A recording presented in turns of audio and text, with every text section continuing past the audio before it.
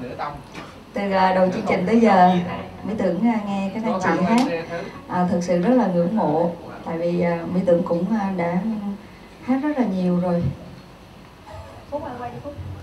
À, nhưng mà hôm nay hát cái bài rất là mới của nhạc sĩ Ngô Tín.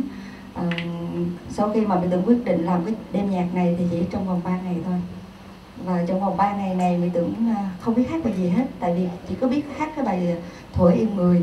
Và sau đó thì có tập sơ qua bài phủ lấp đời nhau. Và bài à, thứ hai là bài chờ nhau. Nhưng mà rốt cuộc là mỹ tưởng hát cái bài đua say tình buồn um, cảm ơn tất cả các anh chị rất là nhiều. Hôm nay chương trình rất là thành công vì nhờ có những giọng ca của các anh chị và nhất là ban nhạc.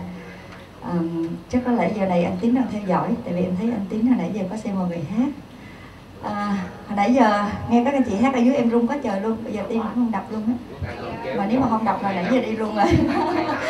À, à, xin mời chàng vỗ tay cho em chống sợ hãi được không ạ?